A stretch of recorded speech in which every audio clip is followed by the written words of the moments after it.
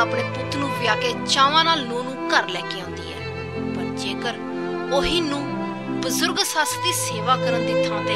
ਉਸ ਉੱਤੇ ਕਹਿ ਢਾਂਦੀ ਹੋਵੇ, ਤਾਂ ਉਹਨਾਂ ਬਦਨਸੀਬ ਮਾਪਿਆਂ ਦੇ ਦਿਲ ਤੇ ਕੀ ਬੀਤਦੀ ਹੋਵੇਗੀ? ਇਸ ਤੋਂ ਵੱਧ ਕੇ ਦਰਦਨਾਕ ਹੋਰ ਕੀ ਹੋ ਸਕਦਾ ਹੈ ਕਿ ਇੱਕ ਬਜ਼ੁਰਗ ਨੂੰ ਉਸ ਦੀ ਨੂੰਹ ਵੱਲੋਂ ਹੀ ਇੰਨੀ ਤਸ਼ੱਦਦ ਦਿੱਤੀ ਜਾਂਦੀ ਹੈ ਕਿ ਬਜ਼ੁਰਗ ਸੱਸ ਚੀਕਾਂ ਮਾਰ-ਮਾਰ ਆਪਣੀ ਨੂੰਹ ਕੋਲੋਂ ਉਸ ਨੂੰ ਬਖਸ਼ਣ ਦੀ ਭੀਖ ਮੰਗਦੀ ਹੈ ਵਾਲੀਆਂ ਤਸਵੀਰਾਂ ਮਹਿੰਦਰਗੜ੍ਹ ਦੇ ਨਿਵਾਜ ਨਗਰ ਦੀਆਂ ਨੇ, ਜੋ ਇੱਕ ਨੂੰ ਵੱਲੋਂ ਆਪਣੀ ਸੱਸ ਨੂੰ 3rd ਡਿਗਰੀ ਦੇਣ ਦਾ ਦੁਖੜਾ ਬਿਆਨ ਕਰ ਰਹੀਆਂ ਨੇ। ਬੇਰਹਿਮ ਨੂੰ ਵੱਲੋਂ ਆਪਣੀ ਸੱਸ ਨਾਲ ਕੁੱਟਮਾਰ ਕਰਨ ਦੀ ਵੀਡੀਓ ਸੋਸ਼ਲ ਮੀਡੀਆ ਤੇ ਵਾਇਰਲ ਹੋ ਰਹੀ ਹੈ।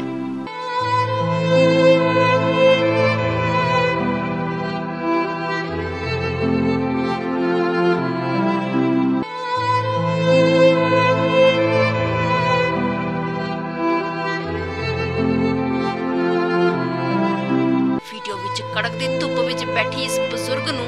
ਇਸ ਦੀ ਬੇਰਹਿਮ ਨੂੰ ਵੱਲੋਂ ਇਸ ਲਈ ਕੁੱਟਮਾਰ ਕੀਤੀ ਜਾ ਰਹੀ ਹੈ ਕਿਉਂਕਿ ਇਸ ਬਜ਼ੁਰਗ ਲਾਚਾਰ ਨੇ ਨੂੰ ਦੇ ਬਿਸਤਰ ਤੇ ਹੀ ਟਾਇਲਟ ਕਰ ਦਿੱਤਾ, ਜਿਸ ਦੀ ਗਲਤੀ ਦੀ ਉਸ ਦੀ ਨੂੰ ਨੇ ਉਸ ਨੂੰ ਕੁੱਟ-ਕੁੱਟ ਸਜ਼ਾ ਦਿੱਤੀ। ਤਸ਼ੱਦਦ ਕਰਦੀ ਇਹ ਬੇਰਹਿਮ ਨੂੰ ਤਾਂ ਬਜ਼ੁਰਗ ਤੇ ਕੋਈ ਤਰਸ ਨਹੀਂ ਆਇਆ, ਪਰ ਇਸ ਬਜ਼ੁਰਗ ਦੇ ਪੋਤੇ ਦਾ ਦਿਲ ਆਪਣੀ ਦਾਦੀ ਨਾਲ ਹੁੰਦੀ ਤਸ਼ੱਦਦ ਵੇਖ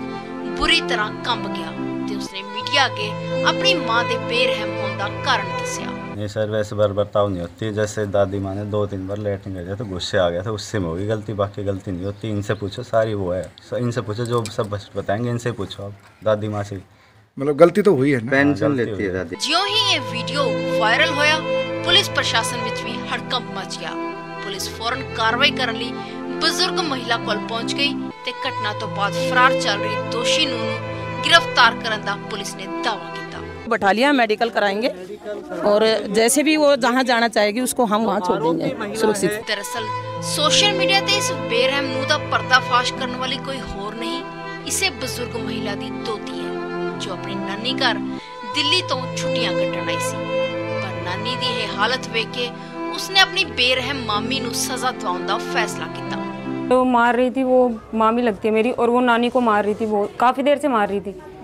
पर पहले मेरे को आइडिया नहीं आया कि मुझे वीडियो बनाना चाहिए पर मैं बाद में एकदम से मेरे को माइंड में ब्लिंक हुआ तो फिर मैंने जाके वीडियो बनाया इससे पहले भी ऐसी हरकतें ये लोग करते रहे हैं हाँ मैं यहाँ पे अभी छुट्टियों के लिए आई थी तो मुझे पता नहीं इतना तो सवाल आपको वीडियो बनाने के बाद किसी ने कोई धमकी वगैरह भी दी हो नहीं मुझे किसी ने वीडियो बनाने के बाद धमकी नहीं दी ਬਜ਼ੁਰਗ ਔਰਤ ਜਿਸ ਨਾਲ ਜਾਨਵਰਾਂ ਵਾਂਗ ਸਲੂਕ ਕੀਤਾ ਜਾਂਦਾ ਹੈ ਇਹ ਬਜ਼ੁਰਗ ਸਰਕਾਰ ਕੋਲੋਂ 15 ਤੋਂ 20 ਹਜ਼ਾਰ ਪੈਨਸ਼ਨ ਲੈਂਦੀ ਹੈ ਜਿਸ ਦੇ ਸਹਾਰੇ ਬਜ਼ੁਰਗ ਦੇ ਨੂੰਹ ਤੇ ਪੁੱਤ ਆਪਣੇ ਘਰ ਦਾ ਖਰਚਾ ਚਲਾਉਂਦੇ ਨੇ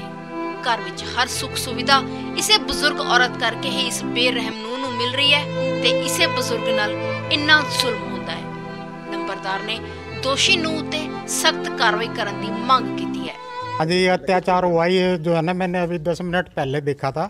और जो है ना ये देख के मैं जो बहुत हैरान हुआ और जो है ना मेरा मन बहुत दुखी हुआ अभी जो बुज़ुर्गों के साथ ऐसा हाल हो रहा है, जिसको कि ये जो जगदीश की वाइफ है,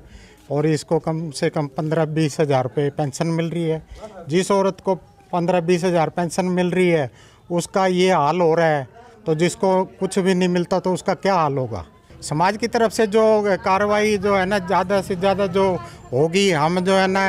इस हमारे जो बुज़ुर्ग हैं, इनको जो न्याय मिलना चाहिए, वो दिलाएँगे। ਆਗੇ ਹੋਣਗੇ ਸਮਾਜ ਕੇ ਸਾਥ ਹੋਣਗੇ ਦੁੱਖ ਦੀ ਗੱਲ ਤਾਂ ਇਹ ਹੈ ਕਿ ਆਪਣੇ ਬਜ਼ੁਰਗਾਂ ਤੇ ਜ਼ੁਲਮ ਕਰਨ ਵਾਲੇ ਇਹ ਕਿਉਂ ਭੁੱਲ ਜਾਂਦੇ ਨੇ ਕਿ ਅੱਗੇ ਉਹਨਾਂ ਨੇ ਵੀ ਬਜ਼ੁਰਗ ਹੋਣਾ ਹੈ। ਤੇ ਉਹਨਾਂ ਦੇ ਬੱਚਿਆਂ ਵੱਲੋਂ ਜਦੋਂ ਇਹ ਤਸ਼ੱਦਦ ਖੁਦ ਉਹਨਾਂ ਨਾਲ ਕੀਤੀ ਜਾਵੇਗੀ, ਤਾਂ ਇਹਨਾਂ ਬੇਰਹਿਮ ਲੋਕਾਂ ਨੂੰ ਫੇਰ ਆਪਣੀ ਕਰਨੀ ਯਾਦ ਆਵੇਗੀ।